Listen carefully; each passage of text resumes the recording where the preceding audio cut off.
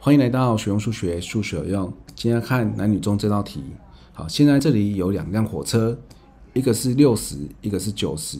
好，他们今天呢是如果是相向而行，好，从头到尾历时五秒。今天如果是相向而行，啊，那他们呢总共走的路程其实是六十加九十，就是一百五。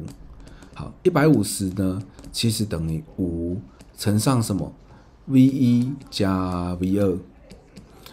那接下来呢？如果是同向而行，好，他今天是说车头对齐，好，然后从车头对齐到甲车尾超越乙车尾车头，那其实呢，你就把它想成什么？呃，他们的这个距离差是甲车尾啊，表示什么？哎，甲乙这个距离差呢，就是甲的车头是六十，好，但他们现在呢，这个速度差是 v 一减 v 二，好。所以在五秒内呢，他们会相差六十。